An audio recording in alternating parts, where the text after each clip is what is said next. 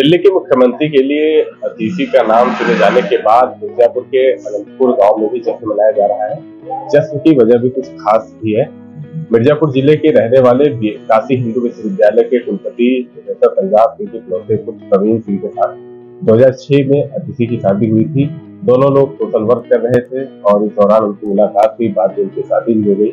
अब अतिथि दिल्ली की मुख्यमंत्री बनी है तो गाँव में भी जश्न मनाया जा रहा है। यहाँ पर लोग एक दूसरे को मिठाई खिला के जश्न मना रहे हैं। क्या नाम है बीरेन्द्र सिंह। अतिथि सिंह दिल्ली की मुख्यमंत्री कितनी खुशी है? बहुत सारी खुशियाँ हैं। खुशियाँ बहुत सारी हैं। हमारी भयो लगती है। हमें खुशी किसको होगी? हम्म, बहुत सारी। अतिथि यहाँ पे आती है। हाँ आती साल में दो तीन बार आती हम सब हमेशा आती क्या करती क्या नाम है आपका? गिरजा सिंह बहुत नॉर्मल स्वभाव भी और नॉर्मल बात करने में सब लोगों से बढ़िया संपर्क बात की शादी के बाद इतनी बात नहीं जा सकते लेकिन साल में दो बार तो आ जाती थी जब से कोई विधायक हुई तब से आना जाना बंद है। मौका नहीं मिलता हो कोई बात हो कम समय में। हाँ वही बात समय की बात। बाकी व्यवहार एकदम बढ़िया बिल्कुल नॉर्मल बिल्कुल। कोई बनाओ की जो नहीं कुछ हमारे साथ चाचा भी है जो है गाँव के ही है बातचीत करके जानेंगे चाचा जी कितनी है आपको? हमारा नाम सत्यदेव सिंह है।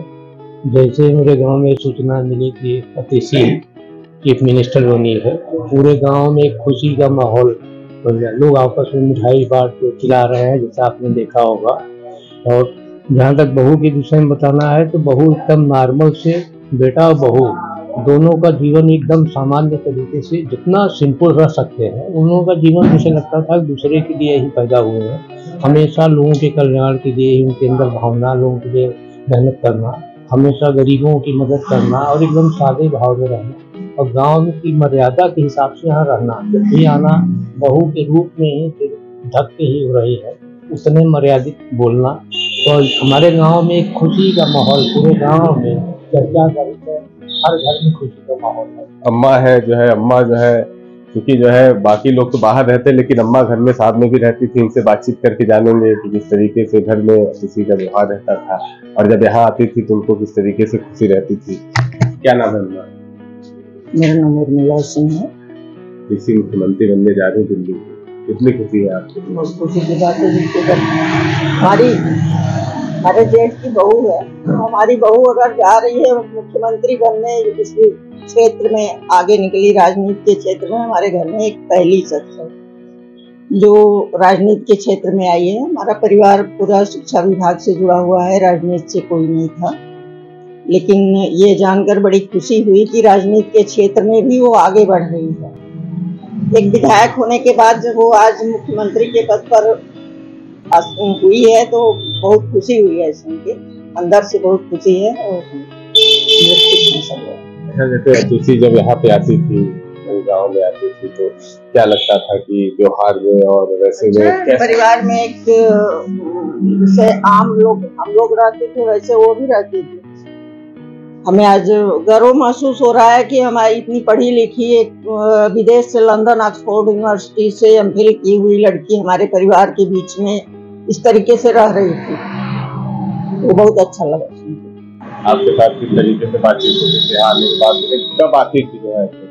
और मौके पर घर में कोई भी प्रोग्राम होता था कुछ भी हुआ तो सबके साथ आती थी। और अभी भी जब बनारस जब भी आती थी तब यहाँ आती थी मिलने सबसे। मतलब नॉर्मल नेचर था जैसे एक आम घर में बहू का होता है वैसे वो लगता था जो है मुख्यमंत्री बनेंगे आप बातचीत नहीं। नहीं। वही तो बता रही हूँ कि अभी तक ये हमको नहीं हम लोग नहीं समझ पा रहे थे कि हमारे घर की बहू आज इस जगह जाके एक राज्य की मुख्यमंत्री बनेगी। ऐसा नहीं था हमारे साथ एक भाई भी है बातचीत करेंगे जो है चूँकि ये यंग एज के हैं तो प्रेरणा के लिए घर में परिवार में बाकी लोग हैं तो ये इनसे बातचीत करेंगे इनसे कितनी खुशी इनको है और ये क्या प्रेरणा लेना चाहेंगे? क्या नाम?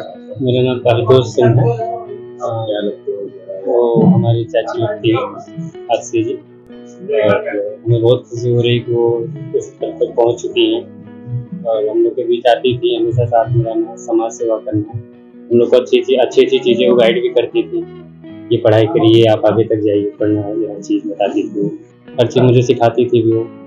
बहुत खुशी है। सर हम प्रोफेसर पंजाब से उनके घर पर थे, यहाँ पर काफ़ी संख्या में लोग थे, जिन्होंने कहा कि हमें बेहद खुशी है। अतिथि जो कि हम लोगों के बीच रहती थी रहती थी और आज वो दिल्ली की मुख्यमंत्री बनने वाली है। और हमें इस बात की है कि उनका व्यवहार जो था वो एकदम नॉर्मल था। मतलब लगता नहीं था कि इतनी पढ़ी लिखी और ब्रिलियंट नेता है। लेकिन आज अगर वो दिल्ली की मुख्यमंत्री बनने जा रही है तो हमारे लिए गर्व की बात है। मिर्जापुर से लोकल एटीन के लिए मुकेश पांडे की रिपोर्ट